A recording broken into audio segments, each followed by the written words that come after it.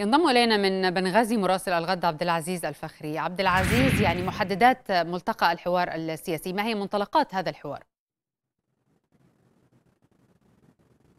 نعم سينار قبل قليل انطلقت هذه الجلسة جلسة الفيديو لأعضاء ملتقى الحوار السياسي. بدأت إذا هذه المباحثات بكلمة من مبعوث الأمم المتحدة لدى ليبيا يان كوبش والذي تحدث في مستهل كلمته عن تطلعه وكذلك ثقته على حد قول يان كوبش. من أعضاء ملتقى الحوار السياسي أن يتمكنوا من الوصول إلى توافق حول القاعدة الدستورية. أيضا من اللافت أن يان كوبش شدد أيضا ومرة أخرى سينار على ضرورة إجراء الانتخابات البرلمانية والرئاسية عندما أردف بذلك وربما هنا يعكس بشكل مباشر رغبة أغلبية أعضاء ملتقى الحوار السياسي على ضرورة أن يكون في أواخر هذا العام انتخابات برلمانية بالتوازي مع الانتخابات الرئاسية على أن تكون في الرابع والعشرين من ديسمبر. إذا الآن نتحدث سينار عن انطلاق هذه الجولة الغاية في الأهمية ربما سوف تحسم على مدار يومين اليوم وكذلك الغد الجدل حول القاعدة الدستورية والتي عقدت من أجلها عدة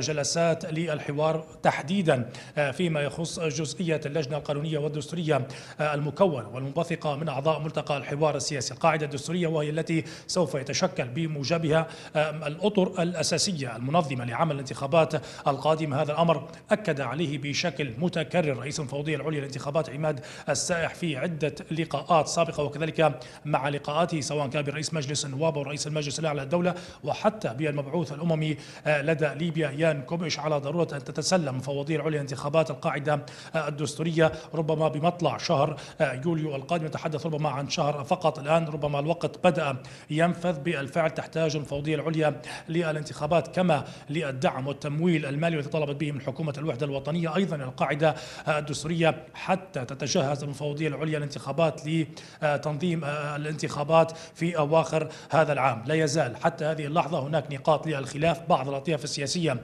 الممثلين الآن بأعضاء ملتقى الحوار السياسي سينار يتحدثون على القاعدة الدستورية أو ما يعرف بمسودة القاعدة الدستورية التي نتجت عن الهيئة التأسيسية لصياغة مشروع. الدستور في وقت سابق تحديدا أحزاب الإسلام السياسي تطالب ضرورة أن يكون هناك استفتاء عام من قبل الشعب مباشرة على مشروع مسودة الدستور. بينما يتحدث غالبية أعضاء ملتقى الحوار السياسي ربما أكثر من 40 عضو على ضرورة أن تؤجل مسألة الاستفتاء على القاعدة الدستورية إلى ما بعد المرحلة القادمة. بشكل مباشر من الشعب وكذلك لا تزال هناك إحدى النقاط الخلافية التي ربما الآن يجري الحديث والتباحث حولها خلال الساعات القادمة وربما حتى يوم الغد سينار فيما يخص مسألة الآجال الزمنية فيما يخص جزئية تحديدا الفترة الرئاسية أو كيفية أيضا الفصل بين السلطات سواء كان الجسم التشريعي وكذلك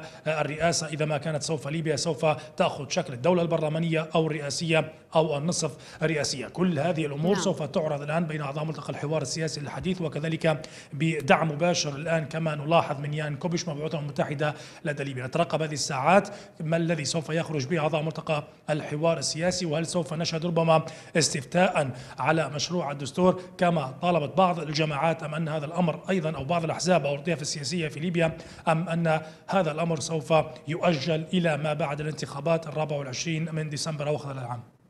إذا من بنغازي مراسل الغد عبد العزيز الفخري شكرا جزيلا لك.